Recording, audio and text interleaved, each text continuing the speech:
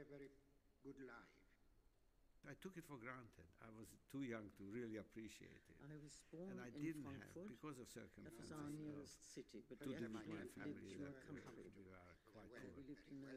And We so have a Germany lovely called the picture. there Odenwald, weren't, I even had my own there bedroom. weren't, With a uh, minor I didn't of have the the usual whole luxuries that countryside. the youngsters and a place Dad was always a had very a good close amateur very musician. few people. There were in five of Germany us. who My were father drinking. and three And in the sons. music times library, when the when show father was was there. Mother disabled. Father was the same. had grand piano, three cellos, lots of shops. Finally, I got Hers was uh, very complicated. My grandfather was born in 1854. It's a high oldest family, and I use this occasion I was born to explain to children to the myth of Grimsby, a new kind of mountain forest. in the area of Krakow, the second parts of the town um, at that time. So in Krakow, and my father uh, was a bank manager, that my husband was a finance manager, and uh, my mother was a fashion designer. Picture that One really wonderful, very elegant, very simple, beautiful. Well, I want uh, future generations to remember what happened during the Holocaust, which, uh, in which uh, six million in, in innocent people were murdered by the German Nazis, and among them my own family. And I want gen- future generations and present generations to learn about it and never to forget it. What wouldn't they have given to have had even a month of the life I've had? I describe my survival as a sequence of miracles. Hate is no solution to anything. You have to be prepared to fight.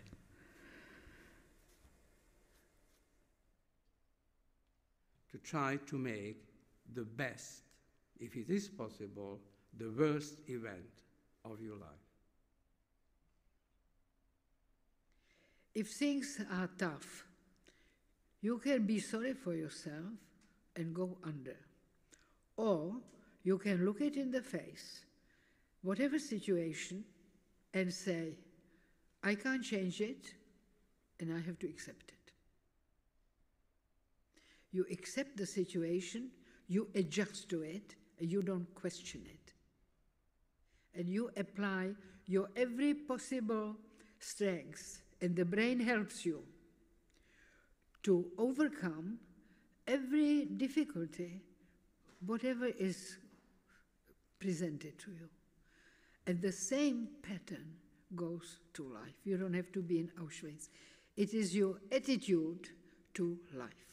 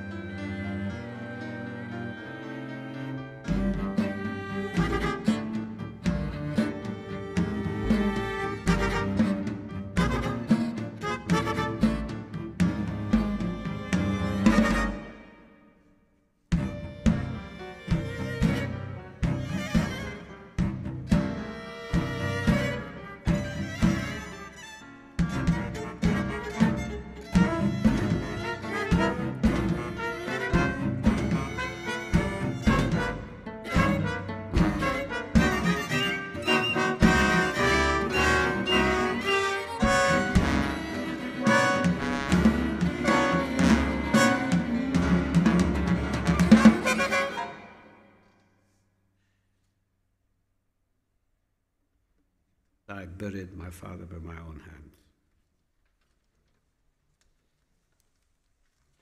I found a piece of wood and I scribbled his name on it and put it in the grave.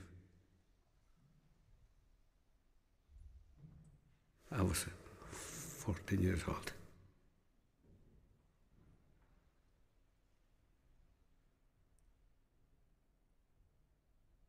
My mother was very frightened what will happen to, to her and her family, especially about the children.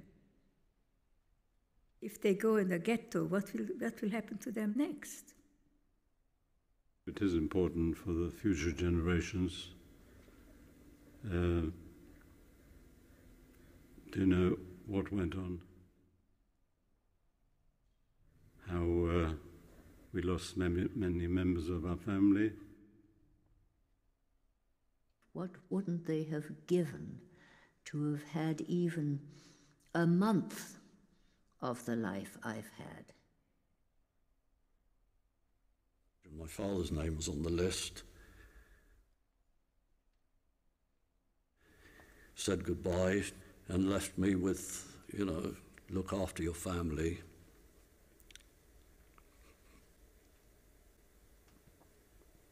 And that was it.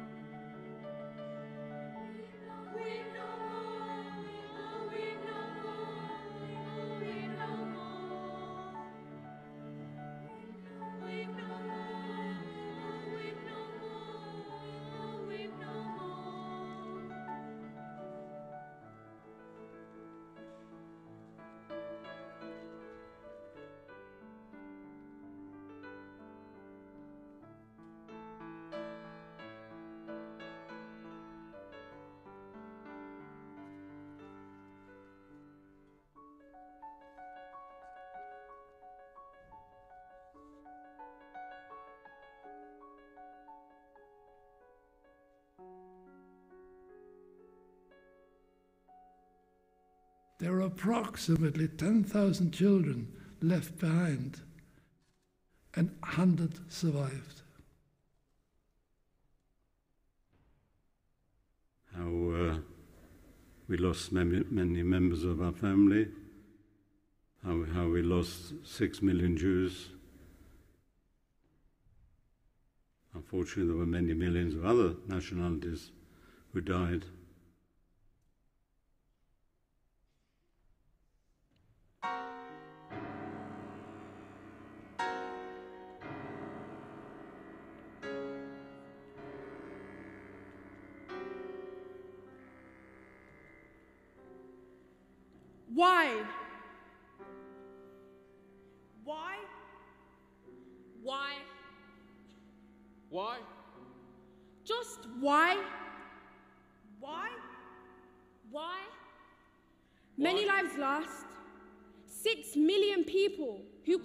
Their dream. Tailors to design, identities to define, working as a team. We should remember those families ripped apart and reminisce on the times they would sing, dance, and play in the front yard, and the survivors whose hearts were permanently scarred. How does one not care? Not care for six million lives?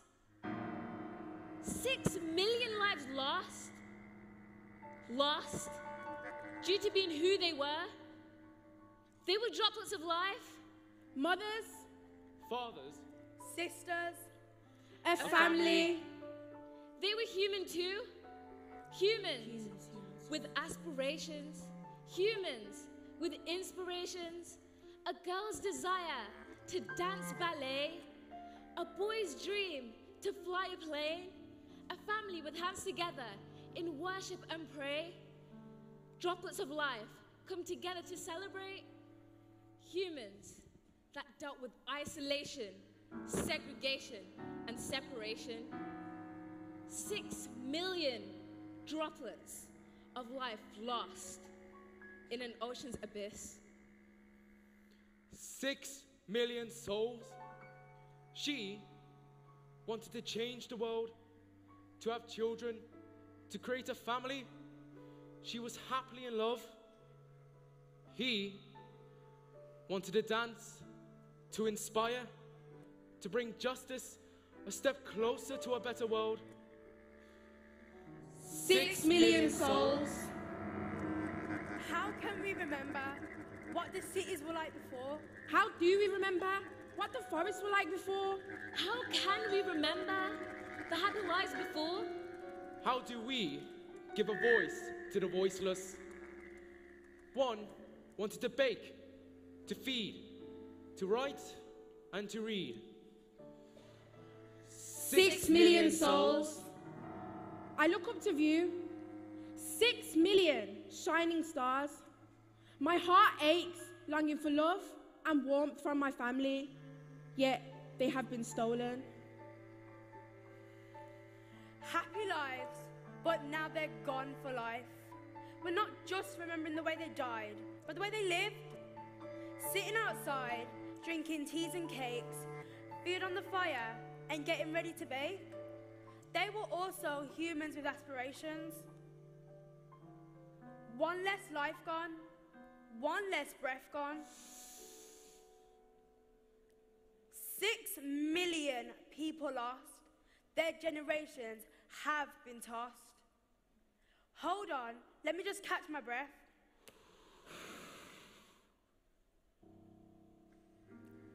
They're amazing dreams that need to be seen. Six million empty chairs.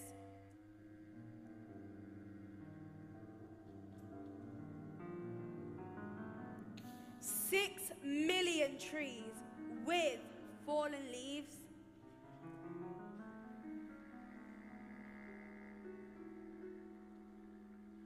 We are the voices of the voiceless. We are the voices of the voiceless. We are the voices of the voiceless. They live with us, through us. Us. I was prisoner 8,431. The trains arrived, and then, without any notice, they got all the women and they rushed them straight away back into the trains. Couldn't even say goodbye to anybody.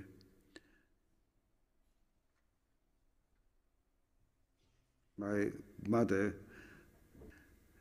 she wasn't taken to a concentration camp. She was taken away to an extermination camp. And there it was a factory for killing, nothing else. I had terrible nightmares that I was standing facing my mother.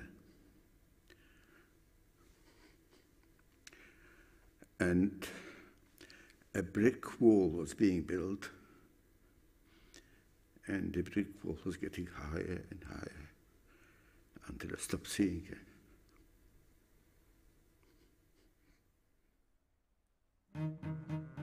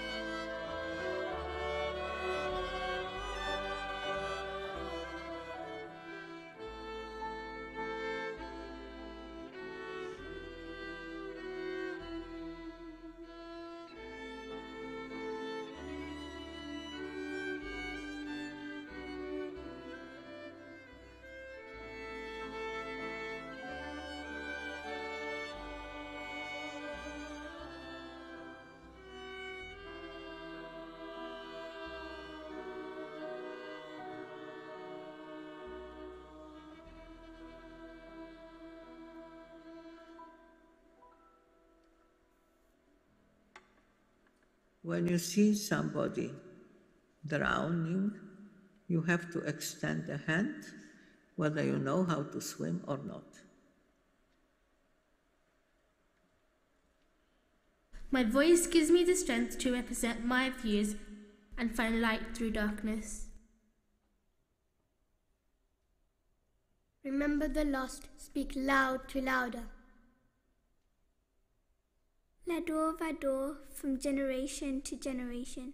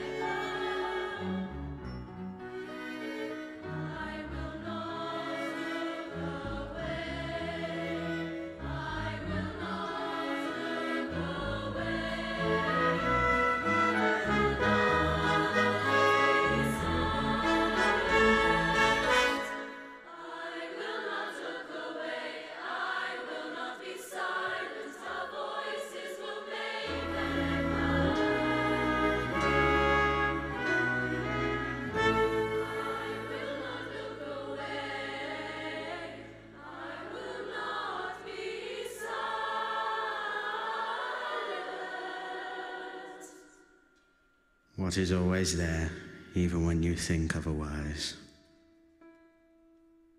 What builds the path to freedom? What raises us from the lowest pit? What shelters us in the harshest storms? What is the faintest light in the dark? Hope.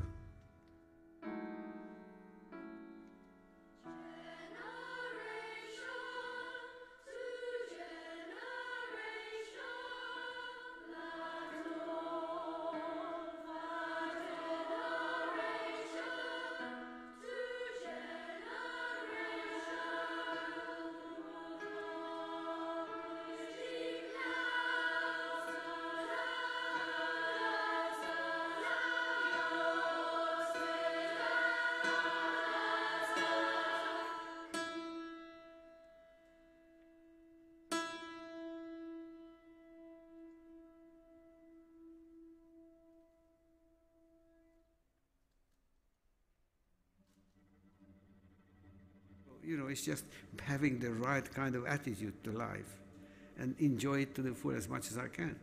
Dancing. And I hope I'll be dancing a few more years.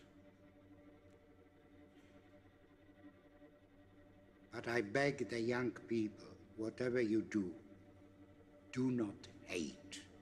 Hate will ruin your life.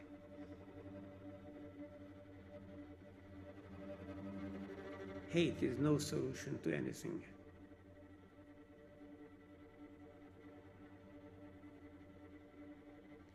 If things are tough, you can be sorry for yourself and go under. Or you can look it in the face, whatever situation, and say, I can't change it, and I have to accept it.